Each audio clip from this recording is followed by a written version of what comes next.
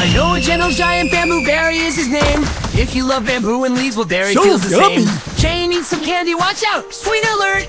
Barry grabs a bamboo and he starts to munch. Crunch, crunch, crunch, let's eat some lunch. Crunch, crunch, crunch, let's eat some lunch. Hey, Barry! I thought pandas might eat meat.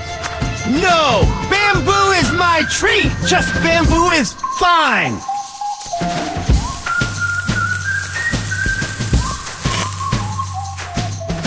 Chew, chew, chew, and munch, munch, munch. Rinse with water, enjoy our lunch. Chew, chew, chew, and munch, munch, munch.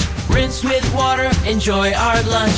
Jane pondered deeply with a question so shrewd. Do pandas eat people when they're in a bad mood? Barry laughed softly, his response was imbued. Bamboo's our solace, enjoy, we're imbued. Come on, kids! You should join me! Okay, Bamboo Barry, hand me some bamboos too.